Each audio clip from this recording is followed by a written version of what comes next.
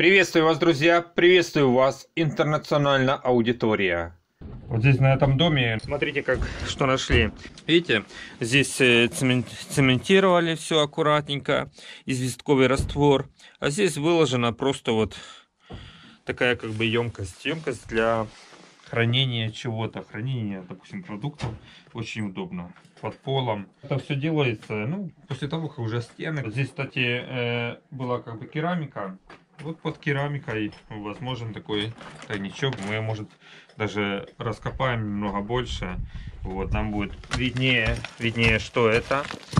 Но здесь вот одна сторона здесь, а другая сторона, наверное, где-то вот здесь будет. Это небольшое помещение, а вот, вот он, вот он. Ну, где-то вот до, до сюда.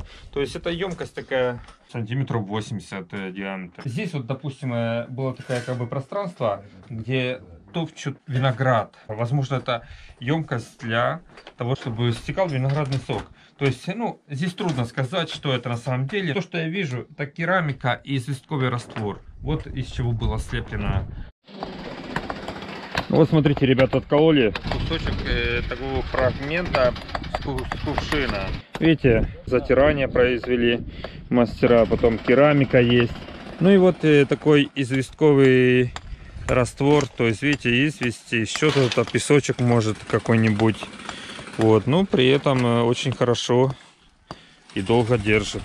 Не такое уж толстое, тонкое, сантиметров 10-15 в разных местах по-разному. Емкость может быть для воды, емкость для вина, емкость как бы погреб. Если там температура была такая плюс 10, плюс 15, то есть это нормальная температура для того, чтобы хранить что-то.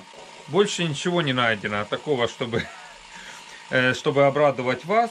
Больше ничего. Мы сейчас пойдем на ту сторону и мы посмотрим э, там, где месили вино и куда стекало оно. Пойдемте.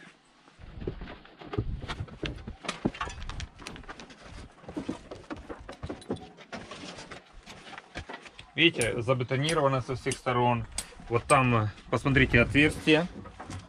И теперь, если вы посмотрите на ту сторону, вот как я это делаю, мы увидим емкость. Емкость, куда стекало вино.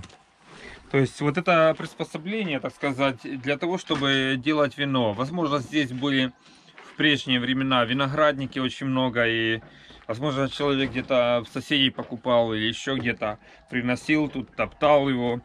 То есть вручную, ножную. Может, вообще ишака загонял сюда, чтобы он ему топтал. Неважно. То есть приблизительно это было так. Вот. Но это была шутка насчет ишака. Итак, в данный момент, как мы поступим с этой емкостью? Конечно, мы историю постараемся сохранить, как оно было. То, что мы пробили отверстие для того, чтобы залить бетон, да, здесь зальется бетон. Здесь э, старая прежняя штукатурка, она уберется полностью. Потом смотрим, где что меняем, где что поправляем, где что подмазываем, штукатурим по кругу и оставляем в таком виде, как это было когда-то раньше.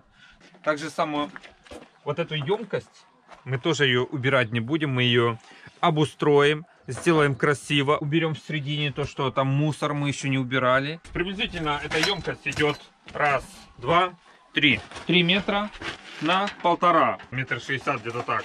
Стек идет весь вот туда идет, он направленный туда стек. Стек в отверстие и емкость. То есть, когда человек топчет виноград, весь стек в это русло, в это отверстие. И весь виноград, жмыха остается на своем месте. Я думаю, что э, где-то еще используют эти варианты, допустим, для приготовления вина. И получается хорошее вино. Но это один из старинных способов, которые применялись и применяются по сей день, делают вино так. Интересная забава, не правда? В следующем видео смотрите, как мы укрепляли фундамент этого дома. Стройте из камня по старинным технологиям. Стройте на века. Мастера, зарабатывайте на камне.